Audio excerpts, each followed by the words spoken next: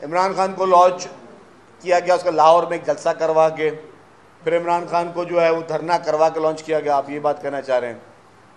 और फिर 2018 का इलेक्शन मैं कहता हूँ जी, जिस, जिसने भी गलत काम किया हो, और उसका अगर सहूलतकार बनाओ तो डेफिनेटली एक इंक्वायरी हो, और फिर इसका जिसको भी, जिसका भी जो रोल है, उसका वो फैसला किया जाए।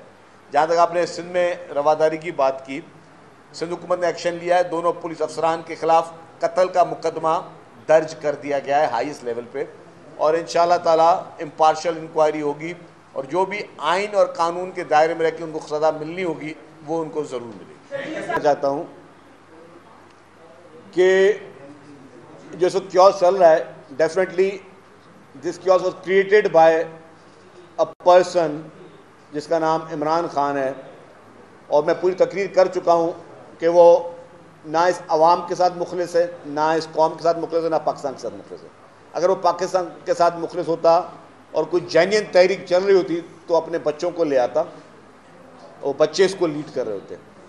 दूसरी बात ये कि इसका हल यही है कि कानून अपनी हरकत में आए, कानून अपनी हरकत में आ रहा है, लेकिन कानून ये भी कोशिश कर रहा है कि एहतियात भी कर रहा है। क्योंकि जो बड़ा होता है ना मिच्योर आदमी उसने एहतियात करना होता है। वरना इस तरह की किसी भी मॉब को डील करना कोई बहुत मुश्किल बात नहीं है। आपके पास हर किस्म के वसाइल मौजूद है ना। ये तो नहीं है कि वसाइल नहीं है और आप बेबस हो। हुकूमत कहीं पे बेबस नज़र नहीं आ रही है। हुकूमत में वसाइल मौजूद है। हुकूमत कोशिश कर रही है कि भाई इसको तरीके से इसको एक एक स्ट्रैटेजी की तहत इसको फिजल आउट किया जाए। लेकिन उसका नाजायज़ फ़ायदा के पी की हुकूमत उठा रही है। इनकी जो दूसरा सवाल था वो चली गए सवाल करके। नहीं उन्होंने गिरफ्तारी का मुझे नहीं पता लेकिन अगर कानून हाथ में कोई भी शख्स लेगा तो ज़ाहिर उसको गिरफ़्तार तो होना है। हाँ, देखिए जी एहतजाज कराची में भी पीटीआई ने किए। हमने उनको जहाँ पे एहतजाज किया हमने कहा वहाँ पे हम आपको पानी पिलाते हैं वहाँ आपको इज़्ज़त से बैठाते हैं।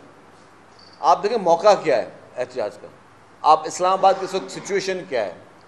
अगर इस्लामाबाद में इस वक्त आपके एक इंटरनेशनल इवेंट्स होने हैं तो आप चाहते हैं कि जी उनको इजाज़त दी जाए। अगर आपके तर्जुमान, जिस जुलूस को आप लेके आ रहे हो, उसको तर्जुमान बोला कि जी यहाँ पे जयशंकर जो आके खिताब करे तो आपको उसको इजाज़त देनी चाहिए। फिर तो कल को फिर उनका ये भी मुतालबा है कि जयशंकर यहाँ पर खिताब करे। कल को बोल नैतन जो है वो यहाँ पे आके डांस करे तो फिर वो भी उसको इजाज़त दे दी जाए।